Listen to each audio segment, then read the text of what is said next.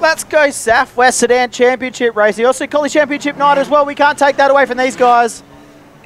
A lot of new, fresh looking cars out here. Great to see the production sedans come to South Championship. These guys over four rounds are going to be racing for about $8,000 in prize money on top of the night's prize money pool as well. It's great to see. Faz Mechanical and Lewin Tyres also getting involved with the Southwest Sedan Championships as well. So also to see from Prodigies, they'll go for their heat number one this time. Barry Rose off the front row. Vince Lindsay outside him.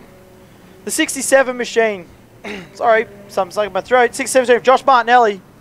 Nuno Mendez, a sponsor around here, the 133. Or the triple three of Dubbo. We'll go green this time around. Kim Smith.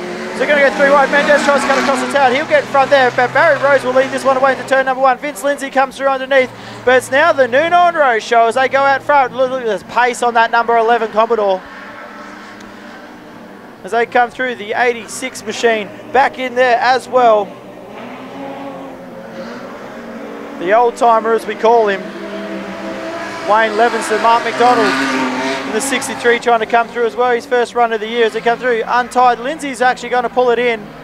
Lose him and then this one, the 43 machine. As well is going to pull this one in. So it's now a race in six for this one. Barry Rose out front, the 181. Second place, Nuno Mendes. Josh Martinelli back in third place. The 33 of Kim Smith back in fourth. Wayne Levinston and Mark McDonald. Oh, big touch there on the back straight. Smith into the wall between Levinston and Smith. So run it through once again on the main straight this time. Barry Rose out in front. Mendez and Martinelli starting to check away, and that back of that car is very second hand on the Kim Smith car. Unfortunately, that smack's done some damage to the back. Camber issues there as he pulls it in. But Ken Mendez run down the backside of Barry Rose. Martin McDonald look under Wayne Levinston and the EL Falcon, the trade hire. Murray Rural Contracting, number 63. Trying to hug it down, down the, they come through, but the race is for the lead. Mendez and Rose out in front. Mendez going to try to run it in deep this time around. The 11 car gets a little sideways on entry this time. That little Sigma is just so hard to pass.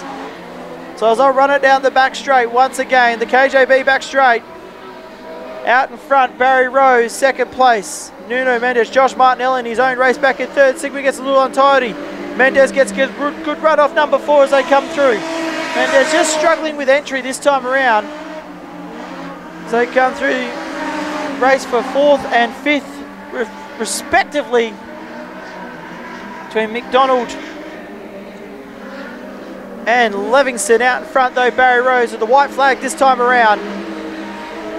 Had a pretty drama-free heat race this time around. It's good to see Martinelli get some consistent laps in that number 16, 67 VY Commodore. Old McDonald at the tail of the field this one.